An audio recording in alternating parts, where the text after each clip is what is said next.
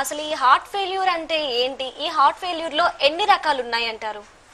So heart failure అంటే మనకి గుండె సరిగ్గా కొట్టుకోకపోవటం గుండె నుంచి బయటకు వచ్చే ఉత్పత్తి అంటే కార్డియాక్ అవుట్పుట్ అంటాం. అది తగ్గటం వల్ల హార్ట్ ఫెయిల్యూర్ అనేది అంటాం అనమాట సో హార్ట్ ఫెయిల్యూర్ వల్ల కారణాలు మనకి మొదటగా వచ్చేది హైపర్ టెన్షన్ అంటే బీపీ గనక ఎక్కువ ఉన్న వారికి వారికి వస్తుంది. తర్వాత గుండెలో రక్తనాళాల్లో రక్త పూడికలు గనక పెరిగి రక్తం పూడికలు దానివల్ల గుండె కండ వీక్ అయినప్పుడు దీనివల్ల ఇష్కిమిక్ హార్ట్ డిసీజ్ అంటాం. దీనివల్ల వస్తుంది. తర్వాత ఏట్రల్ ఫిబ్రిలేషన్ అంటే గుండె చక్కగా కొట్టుకోకపోవటం వల్ల అంటే దానికి నచ్చినట్టు కొట్టుకోవటం వల్ల గుండె పెరగటం గుండె పెరిగి గుండెలో ఒక ప్రెషర్ పెరగటం వల్ల హార్ట్ ఫెయిల్యూర్ అనేది అంటాం.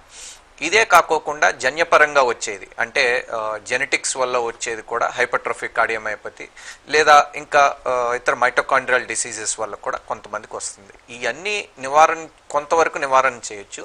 ఇంకొకటి మన ఆల్కహాల్ ఎక్కువ తీసుకున్నా లేకపోతే స్మోకింగ్ చేసినా కూడా వారిలో కూడా హార్ట్ అటాక్స్ హార్ట్ ఫెయిల్యూర్ అనేది కామన్గా చూస్తూ ఉంటాం. సో దీనివల్ల కూడా హార్ట్ ఫెయిల్యూర్ రావటం వల్ల జాగ్రత్తగా మనం తీసుకోవాల్సిన అవసరాలు చాలా ఉన్నాయి. అయితే డాక్టర్ గారు ఈ హార్ట్ అటాక్కి హార్ట్ ఫెయిల్యూర్కి రెండింటి మధ్య డిఫరెన్స్ ఉంది అంటారు లేదా రెండు ఒకటే అంటారు?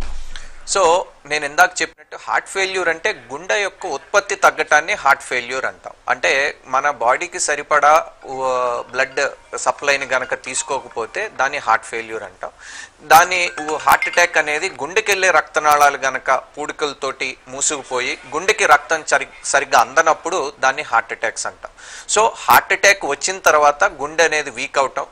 గుండె వీక్ అయిన తర్వాత పంపింగ్ అనేది తగ్గటం వల్ల గుండె నుంచి బయటకు వచ్చే ఉత్పత్తి తగ్గటం వల్ల హార్ట్ ఫెయిల్యూర్ అనేది సంభవిస్తుంది. కొంతమందికి ఈ షుగర్ ఉన్న వ్యాధి వారికి హార్ట్ అటాక్ వచ్చినప్పుడు వాళ్ళకి నొప్పి తెలియకపోవచ్చు. దాన్ని సైలెంట్ హార్ట్ అటాక్స్ అంటాం.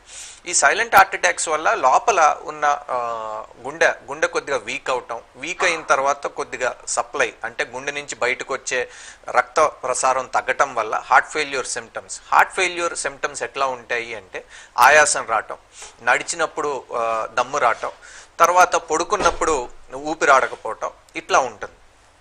హార్ట్ అటాక్స్ సంబంధించి. హార్ట్ అటాక్ అంటే ఛాతీలో నొప్పి రావటం రెండు భుజాల వరకు నొప్పి రావటం తర్వాత మెడకు రావటం ఎడం చేతికి ఎక్కువగా రావటం ఎడం ఎడం చేతి లోపల పక్కన రావటం తర్వాత ఆయాసం దాని తర్వాత రావటం చెమటలు పడటం ఒళ్ళు చల్లబడటం లేదా కళ్ళు తిరిగి పడిపోవటం విరోచనానికి వెళ్ళటం లేకపోతే వాంతు అవటం ఇవన్నీ ఎక్కువగా చూస్తూ ఉంటాం. సో రెండు వేరువేరుగా ఉంటాయి. కానీ ఒకదాని తర్వాత ఒకటి వచ్చే అవకాశాలు ఎక్కువగా ఉంటాయి.